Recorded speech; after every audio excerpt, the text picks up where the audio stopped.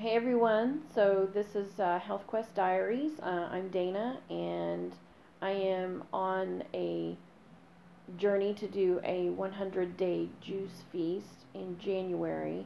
Uh, right now I'm in my 30 day prep period uh, for the month of December, so I am um, prepping myself for this 100 day uh, juice feast.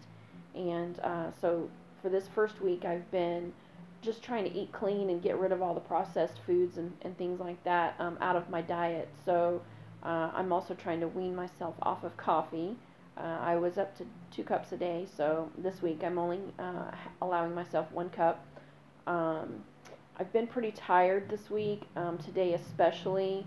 Uh, so I, I actually had to take a nap today because this afternoon I was just so wiped out. Um, after 3 o'clock, I just could not stay awake any, any longer. And actually, I'll probably go to bed early. So um, I'm just um, just feeling really kind of fatigued, I guess, uh, right now. So anyway, um, not much else really to report. Um, I had my smoothie this morning.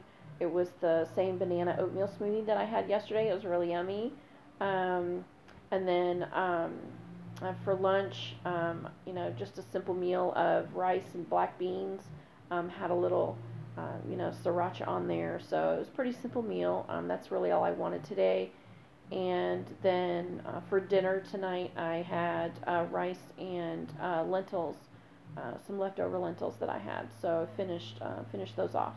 Um, as I go into next week, I'm going to um, eliminate the rice uh, out of my diet, and, and then I'll eat. I'll be eating strictly like veggies next week, um, but but cooked foods.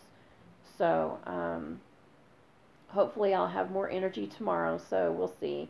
Um, anyway, thank you all for following me, and uh, hope you guys have had a great day.